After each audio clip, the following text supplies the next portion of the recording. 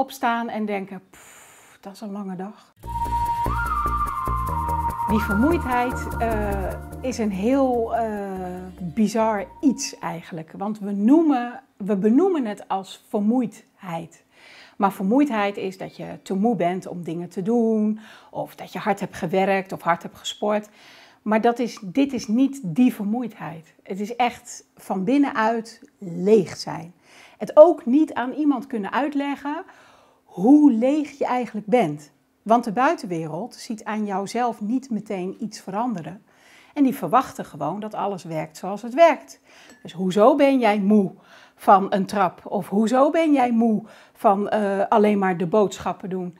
Uh, maar je bent dan eigenlijk ook niet moe, maar leeg. Je lichaam geeft aan tot hier en even niet verder. Wat bij mij ook geresulteerd heeft uh, dat ik mijn fulltime baan gewoon niet meer fulltime kon volhouden.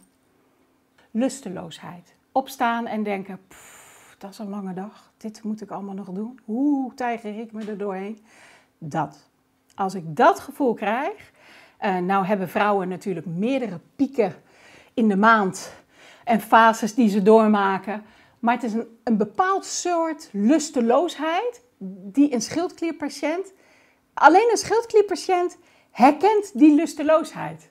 Die, die, dat, je herkent het. Het zit van binnen en je denkt, oh wacht even, dit heb ik eerder gehad. Dit is, dit is niet de weg waar ik heen wil. Um, dat. Op het moment dat dat gebeurt, dan meestal ga ik naar mijn arts of specialist van laten we weer even prikken. Um, ik ga liever voor niets dan uh, dat ik uh, te laat ben weer in het proces met afstellen en alles.